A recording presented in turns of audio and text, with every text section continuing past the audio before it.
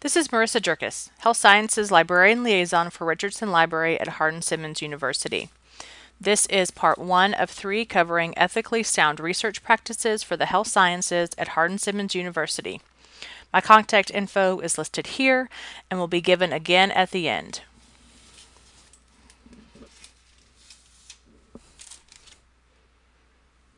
This session, we will cover some basic HSU library services, discuss peer-reviewed and scholarly publications, define evidence-based practice, review how to use PICO, review Boolean operators, and conduct some searches utilizing PubMed and Research Roundup, and overview APA citations. At HSU Library, we have several services available. Most frequently used, of course, is our online web presence. Listed here are specific LibGuides for the different health sciences programs. You can make a note of your program's LibGuide now if you would like. These links will be provided in the description below as well.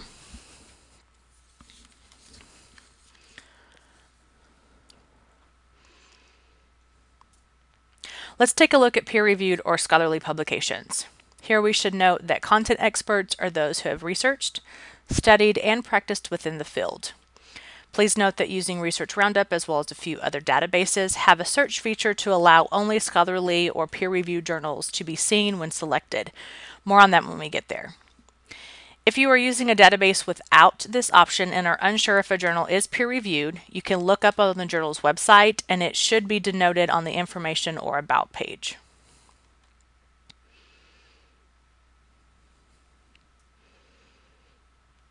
Now to be even more specific, let's look at evidence-based practice. Here is how Sackett and others define it. So essentially, this means using both what you've learned in clinical work and what your peers and other scholars' research say is the best practice to formulate treatment for your patient. So, knowing what you're searching for is the initial step to research. Without a proper or formulated question, you can sometimes feel like researching researching within a database is overwhelming or complicated. So, first things first, formulate your research question. Using PICO, we can identify the patient problem, an intervention, a comparison treatment with the intended outcome. Please note that the PICO worksheet is linked down below in the comments.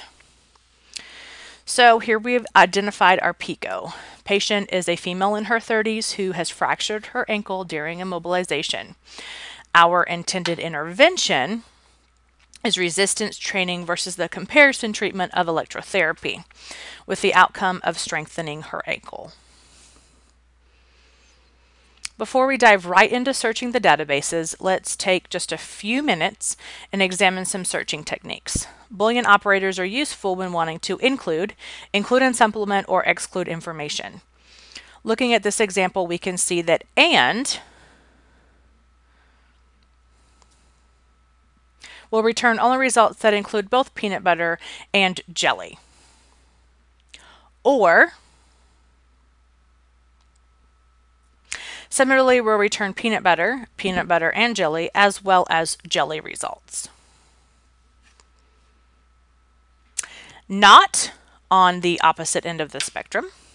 We'll only return results that mention peanut butter, as long as it does not mention jelly. Yes, this is very basic in terminology, but the technique can be transferred to any topic or subject that you are researching.